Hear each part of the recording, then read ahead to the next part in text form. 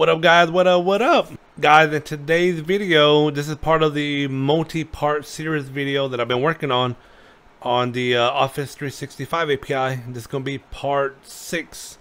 So in this video, we're going to walk through the process and we're going to create a function to give us back file properties. So for example, some of the properties that we're going to have that we're going to pull back is going to be file name, file size, uh, when the file was created, uh, the file ID, um, what else? I think there's like one more. But either way, we're going to be pulling some of those file properties and you're going to receive back a list of all the different files that belong to a folder. So it's going to be pretty much properties of all the files based on a SharePoint folder. But before we get started, guys, hit that like button, give me a follow. Again, guys, hit that like button. Go ahead and hit it. Hit it now. All right, guys, let's get started. Okay, guys, so again, those of you who are new, go revisit part one if you have to. But we're adding to our source code that we have. We have a file called Office 365 API. So we're going to be adding to this file, right? That's ultimately what we're doing here. We're adding to it. So what I'm going to do, I'm going to go ahead and come down and just add it towards the end we're going to create a function. We're going to call this function get file properties from folder right? Because so and I'll explain to you on why we're doing it this way. If you receive back a a um, file object there's properties associated already.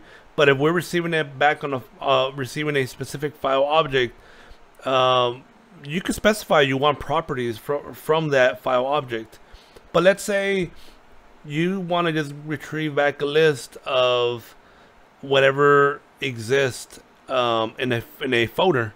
Maybe for for for instance, the what you want to know is well, which files are part of that folder.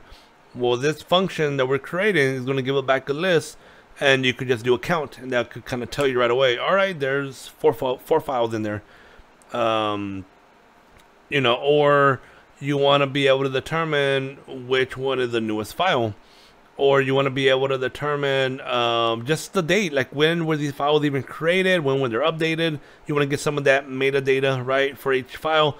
This will provide that information for you. Even versions, the which version of the file uh, belong to, you know, um, is part of that file. Maybe it's already in version 5, version 1, whatever it is. So let's kind of walk through and I'll kind of show you. Uh, let me zoom in. It's actually kind of small. I don't need this. Let me minimize this down. All right, cool. I think that's good enough. All right, so now what we're going to do, let's create, we're going to call this object files list. And what we're going to do here, we're going to call our get files function that we have so this function that we have here, get file list, which if I go up on top, we have this, this is something we created from towards like part one, I believe. And what this is doing is give us giving us back a list of all the files, right? You know, it's not specifying specific properties, but just giving it back in the form of objects. So pretty much we're getting back a list of every file object. That's it, right? Now from from this file object, since we're get, are getting back a list of files and you know in a object, uh, not in a string format, but in an object format, we're going to be able to extract key properties that we want, and we're going to ultimately compile a, a dictionary of these properties. So that's kind of what we're doing here. So I'm going to create a properties, uh, let's call it list. It's going to be empty because we're going to add on to it. And let's go ahead and do a for loop. So we're going to do for file in files list. And then let's create a file dictionary. Oops. And inside this dictionary, we're going to go ahead and add some key properties that we're going to want to capture. So for example, the first one is going to be file ID. And this would be file uh, unique ID. Okay. So every file has some kind of unique ID relate related to it. So that's this what this is giving us the unique ID. If there's a need beyond that to use it in other ways, then you know one again you could pull this list, get the ID, then do some other process if needed. But nevertheless, it's included in this. Uh, we're going to capture that information. So the next thing will be file name. Now this this is very key. This is something that by all means everybody would want, right? If you want to get a list of all the files in a folder, file name is key. We want that. Um, the next thing would be a major version. A major version. So anytime you create a new file, by default, it's version one. If you're making updates, changes, things of that nature, that's where you'll see the version ultimately change uh, depending on what, what kind of changes and all of that that's happening. But nevertheless, if your organization is managing versions to that level, then yeah, it makes sense to to uh, retrieve that information. So that would be included as well. The other one will be minor versions.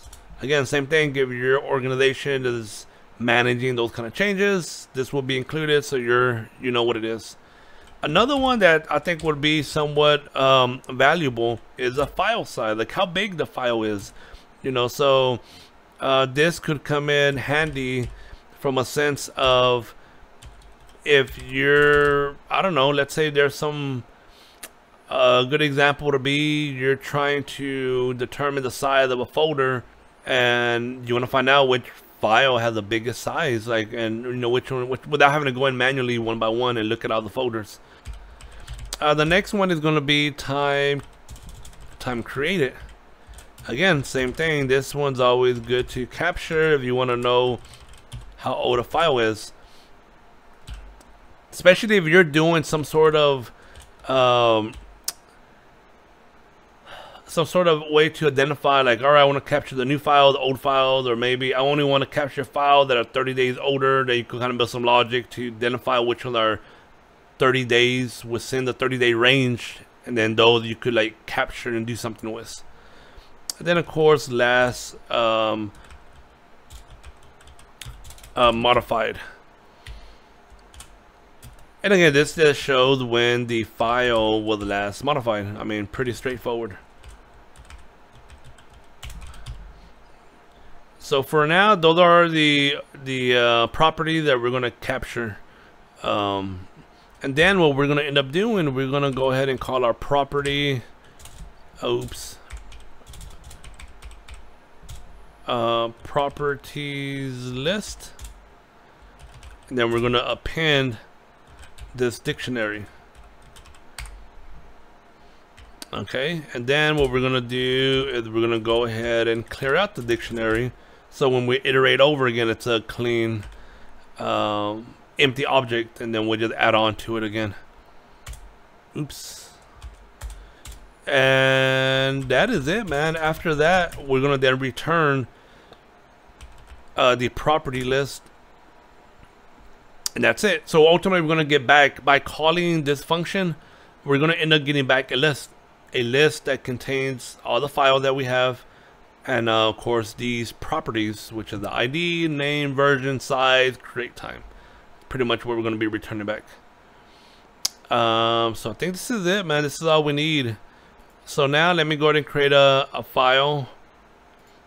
And let me call this file um, let's call it file properties from folder Okay. So now let's just go ahead and let's bring in, we're to have to bring in the Office 365 API file. And then we're to import in SharePoint because SharePoint again is our class that we have over here. Yep.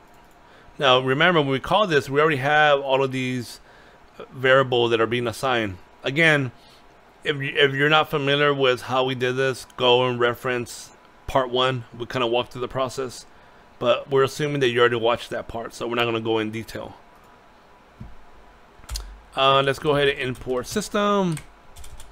And then I'm going to do folder name. Uh, but you know what? Before I do that, this just go ahead and call this. So argument, oops, args1 is going to be SharePoint folder name. All right. So that's ultimately we're gonna. Our argument gonna be the uh, SharePoint name.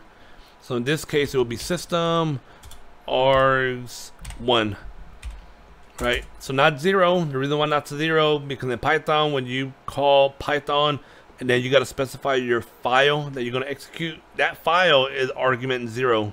Anything after that is argument one, two, and three. So just FYI. Um, I'm going to create a function. So I've been told in the comments that these examples that I'm providing, it's it's an overkill. And honestly, um, I agree. I totally agree, right? I'm not going to disagree. It is an overkill. But I do it because I know in certain cases, these examples, for some people, they could literally take as is and and implement it in their um, in their process. Or they could literally take the script and just have some sort of scheduler running that would just run it and then it would do what they want to do, right? And they don't even have to do anything to it. So that's kind of the reason why I do it that way. Again, is it? I totally agree. I'm not saying that is not because it is, but again, I know that's the case, and I'm I'm fine with it, right? Um, so all right, I'm gonna create this function. Yeah, I don't know why I'm calling this function. It's not, not gonna be called get latest file. So this function I'm gonna create, we're gonna call it uh, get um, properties by folder, right? That's what we're going to call it. Get properties by folder. And then we're going to end up calling SharePoint get property file properties by folder. And then we're going to end up specifying the, the folder, whatever this argument is. That's what we're going to specify over here.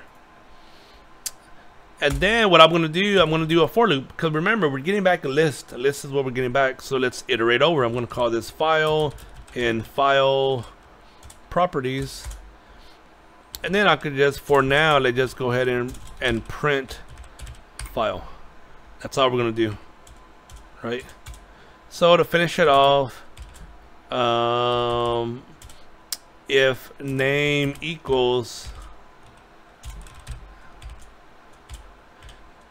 main then we could run this get properties by folder. Then of course this would be our folder name argument. So let's go ahead and let's go ahead and run it. So I'm gonna call python oops so python or you know what before I run it though let's go ahead and go to uh, SharePoint I'm going to sales so as you could tell I have five files in here right? CSV, JSON, another CSV, Excel, and Excel. Different types too, right? They've been modified different times, and so on. Um, like for example, the Excel. Let me go and click on. Let's click on this Excel. I don't know what it is, but let's click on it. Let's say I'm gonna make some kind of change. I don't know. I'm gonna change this to 0.9. Cool. It should have saved automatically, and then now I could kind of come back, hit refresh and um, did it change? Damn, which file did I modify? Was it this one or the other one? It says modified June 10th. Uh, let's click it again. Oh, it didn't change. My bad. There we go. They did change 0.09. So I'm not sure what happened here, but it did change. So let me close out of it. Let me close out of it. Let me hit refresh. There it goes. See, got modified. It took a while, but it's been modified. It looks good, right? A few seconds ago. So we should see that reflected when we pull our data. But so we should get back five, um, a list of five. But let's test out a few things, right? Before we run it, I want to iterate over each one, right? Which is number one. But also what I want to do here in the very beginning, I'm going to do a print, and I want to say um, file count and this would be links file properties so again it should give us back five because that's what we know what it is right it's five um what else? Oops. And then this will give us back the rows of each one. So let's let's take a look at it, right? So it's Python file property. Then again, my first argument here is going to be the directory pass, the folder pass. So if I go back to my SharePoint, it's going to be data 2022 sales. So I'm going to type in data 2022 sales. Hit enter. Let's see what we get. Cool. So we got something back. Let's expand this out. Boom, right there. File count equals 5. Perfect, because we know we have 5. And it did give us back a file count as 5. So again, this would be one of those good um, function to call, especially you're trying to keep count of how many files you have in a folder. Boom, right away, right? You could get that. Uh, I mean, it will give you back a list, but I got a list back of the, the amount of files that, that are in there. And then, of course, we could look at each one. Here's one file. We have a file ID. Here's the GUID. We have the file name, which is the 50 context CSV. And then we have the version, version 1, minor version 0. File size, um, 6, 64, 67, which is pretty much 6K there's the file size. Then of course we have the timestamps. So let's look at the one that we modified, which would have been this guy right here, right? This one was the one that we modified. So we look at the created time. Created time would have been uh, June 11th, 2022. The time modified is what we just did right now, which is um, September 4th uh, time frame. So here's the thing, it's really not September 4th but this is UTC time. So also keep that in mind. This time that you see here is UTC time. So you're trying to convert it to your, uh, whether it be Central, Eastern, Pacific, you're going to have to do the math on it to convert it to um, your local time. But this is all UTC time. This one does have a version. If you look at the major version change, it's in major version 3. And then, of course, minor version is 0 the file size 21k then of course you have your GUID. So again this will give you back just by specifying the folder the pass you could get back properties uh, a list of all the files and properties and then from there you could do whatever you need to do with it right? Um, but nevertheless though this you know will give you that information um, which is pretty straightforward nothing complex you know, right? Pretty straightforward. So again, guys, this was a this actually came in as a request. Somebody requested about, hey, can you make a video showing how we could get some of the properties?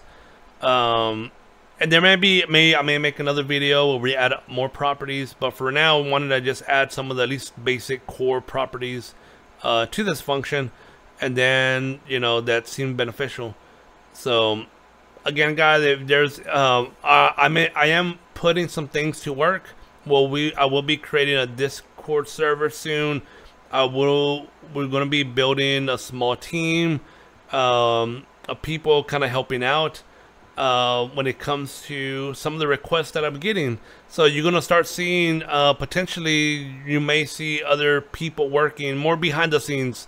I guess maybe you may not see them in the videos and maybe I shouldn't say you're going to see them, but um, there's some things that are in the works, and in order to kind of to speed up, expedite the process of making more videos, um, doing more testing, trying to solve some of these problems. I'm starting to get more and more requests.